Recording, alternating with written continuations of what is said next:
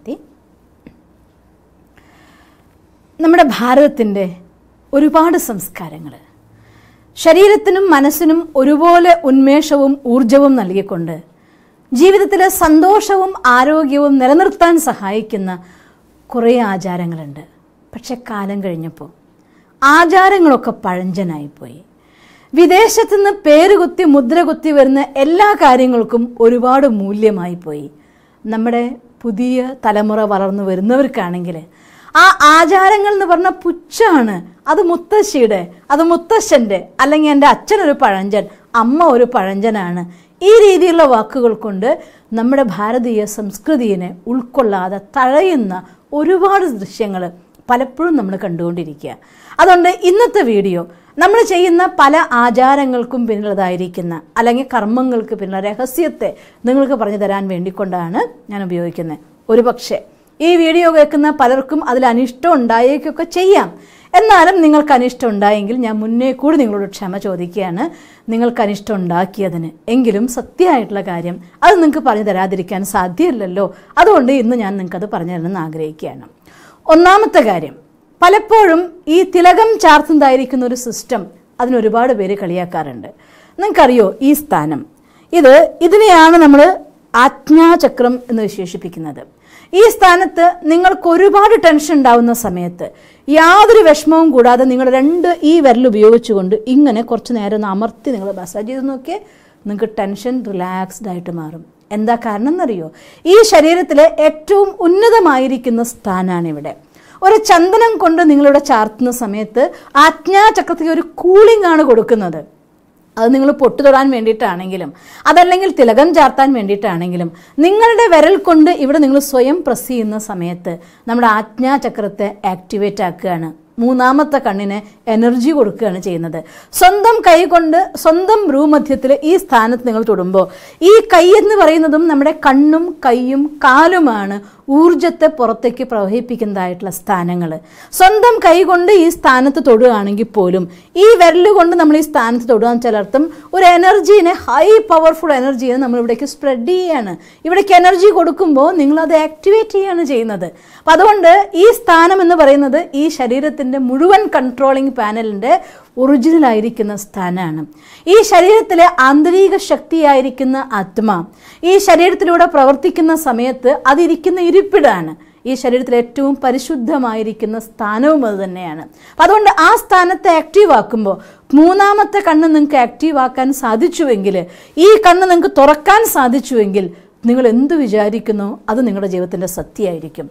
പണ്ടത്തെ ആളുകൾ കണ്ണടച്ച് പ്രാർത്ഥിച്ച് മനസ്സിനെ മറ്റു ഭാഗങ്ങളിൽ നിന്നൊക്കെ ഉൾവലിച്ച ശേഷം ഈ സ്ഥാനത്ത് തിലകം ചാർത്തുന്നതോടെ സ്വാഭാവികമായിട്ടും ഇവിടേക്ക് എനർജി ആക്ടിവേറ്റ് ചെയ്യുകയാണ് ചെയ്യുന്നത്.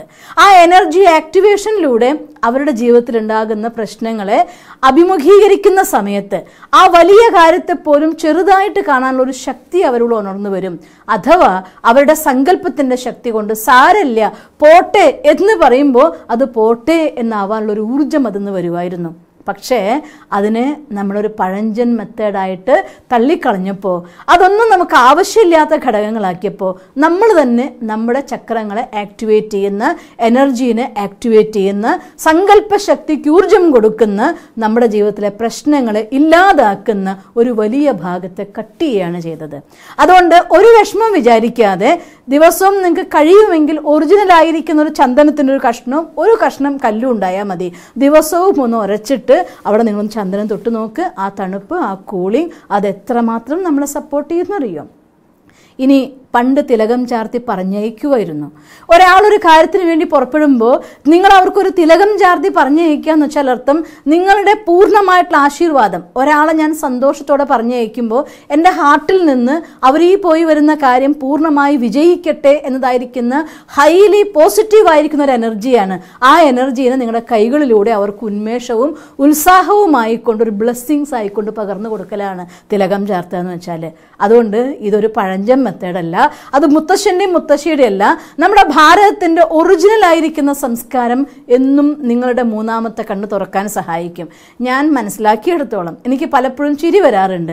പണ്ടത്തെ കാലത്ത് ഗുരുക്കന്മാർ ധ്യാനവും പഠനവുമായി കൊണ്ട് മൂന്നാമത്തെ കണ്ണ് തുറക്കാൻ പറയുമ്പോൾ അതെല്ലാം ആർക്കോ വേണ്ട മെത്തേഡായിരുന്നു ഇപ്പോൾ തേർഡ് ഐ ഓപ്പനിങ് എന്ന പേരിൽ വിദേശത്ത് നിന്ന് വീഡിയോകൾ വരുമ്പോൾ നമ്മുടെ ഭാരതീയർ അതിന്റെ പിന്നാലെ കുത്തിയിരുന്ന് കൊണ്ട് ടെക്നിക്ക് പ്രാക്ടീസ് ചെയ്യാണ്.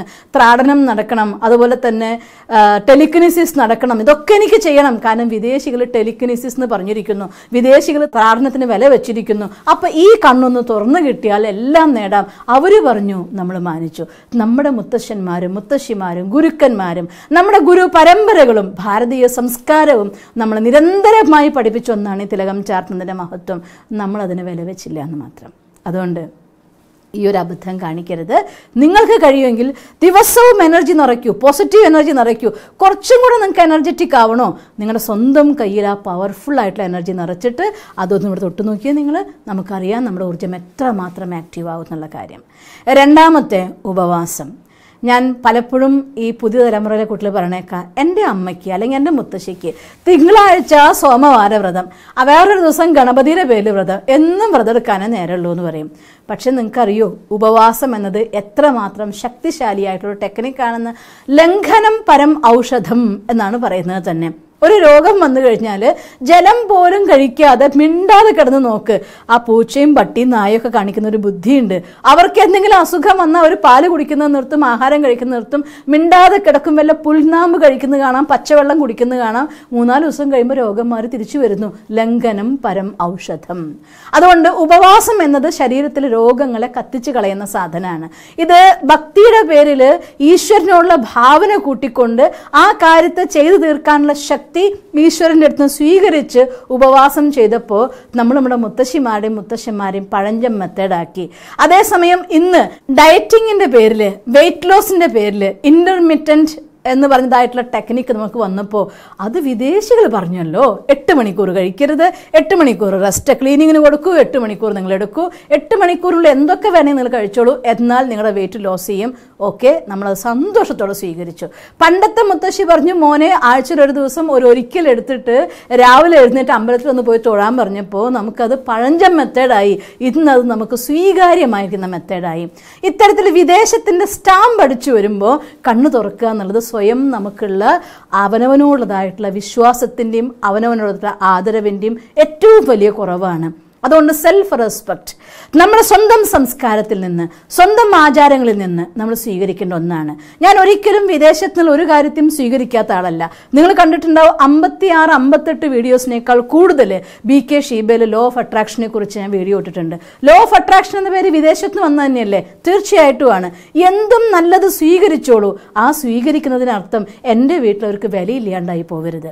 മുറ്റത്തെ മുല്ലയ്ക്ക് മണല്ല. ഘർക്കി ഗംഗ കമാൻ മാൻ നഹി ഹേ എന്നൊക്കെ പറയും.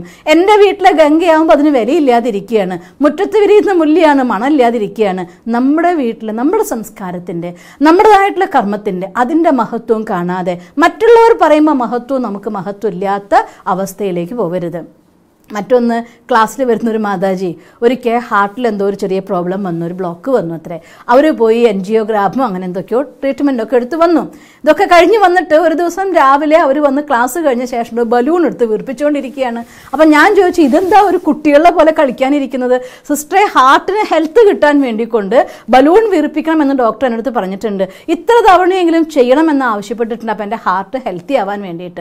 നിങ്ങൾക്കറിയോ പണ്ടത്തെ കാലത്ത് പൂജയ്ക്ക് മുന്നേ വീടുകളിൽ നന്നായിട്ട് ശംഖധ്വനി മുഴക്കുമായിരുന്നു ശംഖനാഥം കേൾക്കുമ്പോൾ ഒന്ന് നമ്മുടെ ഹാർട്ടും ലങ്സും മോസ്റ്റ് പവർഫുള്ളായി മാറും. നിങ്ങൾക്ക് ഹാർട്ട് അറ്റാക്ക് കുറയാനുള്ള സാധ്യതയാണ് ദിവസവും ശംഖ് വിളിച്ച. നമ്മൾ പറഞ്ഞു അതൊക്കെ ആരെയോ ഉണർത്താൻ വേണ്ടി ചെയ്ത മെത്തേഡല്ലേ പഴഞ്ചൻ മെത്തേഡിലേക്ക് മാറ്റിവെച്ചു. ദിവസവും ഓരോ ദിവസം കഴിയും തോറും ഹാർട്ട് പേഷ്യൻസിന്റെ എണ്ണം കൂടുകയാണ്. ഹോസ്പിറ്റൽസിൽ കൊണ്ടുപോയിട്ട് ലക്ഷങ്ങൾ മുടക്കി പതിനായിരങ്ങൾ മുടക്കിയ ശേഷം നമ്മൾ ബലൂണും കൊണ്ട് വീർപ്പിക്കാനിരിക്കുകയാണ് ആരോഗ്യം നന്നാക്കാൻ വേണ്ടി. ദിവസവും ശംഖ് വിളിച്ചുകൊണ്ട് ആ പോസിറ്റീവ് എനർജി വീട്ടിലൊന്ന് നിറച്ചു നോക്ക് നിങ്ങൾ ഹാർട്ടിനും കുഴപ്പമുണ്ടാവില്ല ലങ്സിനും കുഴപ്പമുണ്ടാവില്ല. മാത്രമല്ല അതിൽ നിന്ന് പുറപ്പെടുന്നതായിട്ടൊരു ധ്വനിയുണ്ട് പ്രകമ്പനം. അത് നമ്മുടെ അന്തരീക്ഷത്തിൽ പോലും നെഗറ്റീവ് എനർജിനെ ഇല്ലാതാക്കി പോസിറ്റീവായിട്ടുള്ള ഊർജം നിറയ്ക്കുകയും ചെയ്യും നമുക്ക് ശക്തി തരികയും ചെയ്യും. അതുപോലെ തന്നെ ഇന്നത്തെ കാലത്ത് ലേറ്റസ്റ്റ് ആയിട്ട് ഞാനൊരു വീഡിയോ കണ്ടു ഒരു വിദേശിയുടെ വീഡിയോ ആണ്. അതിലെ മെറ്റലുകൾ കൂട്ടിമുട്ടുമ്പോൾ അതിനുണ്ടാവുന്ന ആ മണിനാഥത്തിന്റെ അതുണ്ടാവുന്ന പ്രകമ്പനങ്ങൾ കൊണ്ട് മനുഷ്യന്മാരുടെ മനസ്സിന് ശാന്തി കിട്ടും പുറത്ത് വളരെ സുഖമായിട്ടുള്ള അന്തരീക്ഷം ഉണ്ടാവും. അതുകൊണ്ട് നിങ്ങൾ നല്ല മെറ്റൽ പഞ്ചലോഹത്തിന്റെ ആണെങ്കിൽ അത് അത് വെച്ചിട്ട് വീട്ടിൽ അതിന്റെ ശബ്ദം ഉണ്ടാക്കാൻ ടാങ് ടാങ് നടിക്കാൻ. നമുക്കറിയാലോ വിദേശത്തുള്ളതായിരിക്കുന്ന ചൈനയുടെ ഒരു സാധനം. നമ്മുടെ വീടുകളിൽ പോസിറ്റീവ് എനർജി പ്രവഹിക്കാൻ വേണ്ടി കുഴലുകളെ തൂക്കിക്കൊണ്ട് നമ്മൾ ആ സിസ്റ്റത്തിനെ ഫോളോ ചെയ്തു. പണ്ടത്തെ വീട്ടിൽ വലിയൊരു മണി തൂക്കിയിടുമായിരുന്നു വരുന്നവരൊക്കെ കോളിംഗ് ബെൽ അടിക്കുന്നതിന് പകരം ടാങ് ടാങ് ടാങ് എന്ന് മണി അടിക്കുമായിരുന്നു അമ്പലത്തിൽ മാത്രമൊന്നുമല്ല പള്ളികളിലും കാണുമായിരുന്നു എല്ലായിടത്തും ആ മണിനാദം അതിൽ നിന്നുണ്ടാവുന്നതായിട്ടുള്ള ധ്വനി ആ പോസിറ്റീവ് എനർജി നമുക്ക് സപ്പോർട്ട് തരുമായിരുന്നു പെർഫെക്റ്റ് ആയിരിക്കുന്ന ഒരു മണിനാഥാണെങ്കിൽ അത് നിലനിൽക്കുമ്പോൾ നമ്മുടെ ലെഫ്റ്റ് ആൻഡ് റൈറ്റ് ബ്രെയിനിന്റെ ബാലൻസിങ്ങിന് ഒരുപാട് സഹായിക്കുന്ന ഘടകമായിരുന്നു അത്. പക്ഷെ നമ്മൾ അതൊക്കെ പഴഞ്ചനാക്കി കോളിംഗ് ബെല്ല് ക്രാങ് ക്രാങ് എന്ന് കേൾക്കുമ്പോൾ അസ്വസ്ഥാവും നമ്മുടെ ബ്രെയിൻ. അതേസമയം മണി നാദം കേൾക്കുമ്പോൾ അത് നമ്മുടെ മനസ്സിന് ശാന്തി തരും ബ്രെയിൻ ബാലൻസ് ചെയ്യും. വീട്ടിൽ എന്തെങ്കിലും കാര്യം നടന്നുകൊണ്ടിരിക്കുമ്പോൾ നിങ്ങൾ വേണമെങ്കിൽ പ്രാക്ടിക്കൽ ചെയ്ത് നോക്കിക്കോ. ഒരു മണി തൂക്കിയിട്ടോ വീടിന്റെ മുന്നിൽ കോളിംഗ് ബെല്ലിന് പകരം. അത് വന്ന് നാല് മണി അടിച്ചിട്ട് നിങ്ങൾ ഒരാളെ കാണാൻ വേണ്ടി തുറക്കാൻ പോകുമ്പോഴത്തേക്കും നിങ്ങളുടെ മനസ്സിന്റെ അവസ്ഥയും കോളിംഗ് ബെല്ല് ക്രാങ് ക്രാങ് എന്നുള്ള ശബ്ദം ഉണ്ടാക്കിയിട്ട് അത് കേട്ട് കഴിഞ്ഞ ശേഷം വാതിൽ പോകുന്ന മാനസികാവസ്ഥയും. നിങ്ങൾക്കൊരു മെഷീന്റെ സഹായത്തോടെ ചെക്ക് ചെയ്ത് നോക്കിക്കോ. രണ്ടും തമ്മിൽ വലിയ വ്യത്യാസം ഉണ്ടാവും. കാരണം അത് ബ്രെയിനിന്റെ ലെഫ്റ്റ് ആൻഡ് റൈറ്റ് സൈഡിന്റെ ബാലൻസിങ്ങിനെ ഒരുപാട് സഹായിക്കുന്ന ഘടകമാണ് മണിനാഥം. ഇത്തരത്തിൽ ഒരുപാട് കാര്യങ്ങൾ നമ്മുടെ കാരണന്മാർ ചെയ്തു വെച്ചതായിരിക്കുന്ന മെത്തേഡുകൾ ഒന്നിനും പഴഞ്ചിന്റെ പേര് പറഞ്ഞുകൊണ്ട് ഇത് അല്ലെങ്കിൽ അവരുടെ മെത്തേഡാണ് ഇത് ഇന്ന സംസ്കാരത്തിന്റെ മെത്തേഡാണ് ഇത് ആർക്കും സ്വന്തമാക്കാവുന്ന മെത്തേഡാണ്. നമ്മൾ അഥവാ നമുക്ക് വിൻഡ് ചാമ്പ് നമ്മുടെ വീടിന് മുന്നിൽ തൂക്കിയിട്ട് ആ നാദം വീടിന്റെ ഉള്ളിലേക്ക് കൊണ്ടുവരാൻ നമുക്ക് റിലീജ് ചെയ്യാനില്ല എങ്കിൽ മണിനാദം കൊണ്ടുവരാൻ റിലീജ് ചെയ്യേണ്ട ആവശ്യമില്ല. ഇവിടെ മെസ്സേജ് ചെയ്തുകൊണ്ട് തേർഡ് ഐ ഓപ്പണിങ്ങിന് വേണ്ടി നിങ്ങൾ ട്രെയിനിങ് സെന്ററിൽ പോകാമെങ്കിൽ ഇവിടെ ചന്ദനം ചേർത്താൻ റിലീജ് ചെയ്യേണ്ട ആവശ്യമില്ല. മതങ്ങളുള്ളിൽ പറയുന്ന ഒരുപാട് കാര്യങ്ങളുണ്ട്. പലപ്പോഴും സൂര്യന് ജലം കൊടുക്കുമ്പോൾ നിങ്ങൾക്കറിയോ രാവിലെ എഴുന്നേറ്റ് പണ്ടത്തെ ആളുകൾ സൂര്യ നമസ്കാരം ചെയ്തിട്ടോ പോട്ടെ ഒന്നുമില്ലെങ്കിൽ കുളിച്ചു കഴിയുമ്പം സൂര്യന് ജലം കൊടുക്കുമായിരുന്നു. സൂര്യനെ നോക്കി കയ്യിൽ പിടിച്ച സം സെക്കൻഡ്സ് സൂര്യനെ നോക്കുമ്പോൾ സ്വാഭാവികമായിട്ടും വിറ്റാമിൻ ഡി നിങ്ങൾക്ക് കൂടും നിങ്ങളുടെ കണ്ണിന്റെ കാഴ്ച നിങ്ങൾക്ക് കൂടും രോഗപ്രതിരോധ ശേഷി ശരീരത്തിൽ വരും എല്ലാവിധ സപ്പോർട്ടും നമുക്ക് കിട്ടുമായിരുന്നു. അത് പഴയ മെത്തേഡ് ആയതുകൊണ്ട് ഇപ്പം അതിനെയൊക്കെ വിട്ടിട്ട് സൂര്യോപാസന എന്ന രീതിയിൽ വേറെ പലരും പറഞ്ഞപ്പോൾ നമ്മൾ വന്ന് സൂര്യന് നോക്കുകയാണ്. ജനലിന്റെ ഇടയിൽ കൂടെയോ വാതിലിന്റെ ഇടയിൽ കൂടെയോ സൂര്യനെ കാണുമെന്ന് കാത്തു നിൽക്കുകയാണ്. എന്തിന്? തുറന്ന ആകാശത്തിൽ നമ്മുടെ പ്രകൃതിയിൽ നമുക്ക് അനുഗ്രഹീതമായ ഈ ലോകത്ത് ഈ ഭാരതഭൂമിയിൽ നമ്മുടെ സംസ്കാരത്തെ മുറുകെ പിടിച്ചുകൊണ്ട് എല്ലാം എനിക്ക് പറയാൻ പറ്റില്ല. പലപ്പോഴും അന്ധവിശ്വാസങ്ങൾ ഉണ്ടായിരിക്കും. അന്ധവിശ്വാസത്തെ തോന്നുന്നത് വിട്ടേക്ക്. തൊണ്ണൂറ് ശതമാനം ഇത്തരം ആക്ടിവിറ്റീസിന്റെ ഉള്ളിൽ മാനസികവും ശാരീരികവും ആധ്യാത്മികവുമായിരിക്കുന്ന ഒരു ഉണർവിനും ശക്തിക്കും വേണ്ടതായിട്ടുള്ള ടെക്നിക്കുകളാണ് ആരും ഒന്നും വെറുതെ ചെയ്തു വെച്ചതല്ല. അതുകൊണ്ട് ഒന്നിനും തഴയാതെ നമ്മുടെ ഭാരതീയ സംസ്കൃതിയെ അപമാനിക്കാതെ നല്ലതിന് സ്വന്തമാക്കി അത് നമ്മുടെ ജീവിതത്തിന്റെ ചര്യയാക്കി മാറ്റൂ. എങ്കിൽ ആരോഗ്യവും സന്തോഷവും അറിയാതെ വന്നു ചേരുന്ന ഘടകങ്ങളായിരിക്കും. ദിനചര്യ ഒരു മനുഷ്യന്റെ ഏറ്റവും വലിയ ശക്തിയാണ്. സബ് കോൺഷ്യസ് മൈൻഡിനെ ആക്ടിവേറ്റ് ചെയ്യാനുള്ളതായിട്ടുള്ള ടൂളാണ് അതിനുപയോഗിക്കൂ ആക്ടിവേറ്റ് ചെയ്യൂ. ലൈഫിൽ ഹാപ്പിയസ്റ്റ് ആയിട്ട് മുന്നോട്ട് പോകൂ. നിങ്ങൾക്കും അങ്ങനെ ചെയ്യാൻ സാധിക്കട്ടെ എന്ന് ഞാൻ ഈശ്വരനോട് പ്രാർത്ഥിക്കുന്നു. ഓം ശാന്തി. ദിവസം തോറും ജീവിത വിജയങ്ങൾക്ക് വെളിച്ചം വീശുന്ന പുത്തൻ വീഡിയോകൾക്കായി ഞങ്ങളുടെ യൂട്യൂബ് ചാനൽ സബ്സ്ക്രൈബ് ചെയ്യൂ. നോട്ടിഫിക്കേഷൻ ലഭിക്കുന്നതിനായി ബെല്ലൈക്കൺ ക്ലിക്ക് ചെയ്യൂ. ഒപ്പം ഞങ്ങളുടെ ഫേസ്ബുക്ക് ട്വിറ്റർ ഇൻസ്റ്റാഗ്രാം പേജുകൾ ഫോളോ ചെയ്യൂ. നന്ദി.